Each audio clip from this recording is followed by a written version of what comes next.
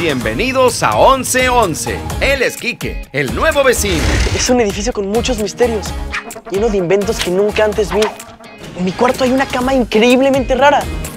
Rarísima. Quique todavía ni se imagina la cantidad de misterios que lo rodean.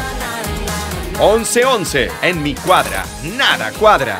Estreno en junio, solo en Nickelodeon.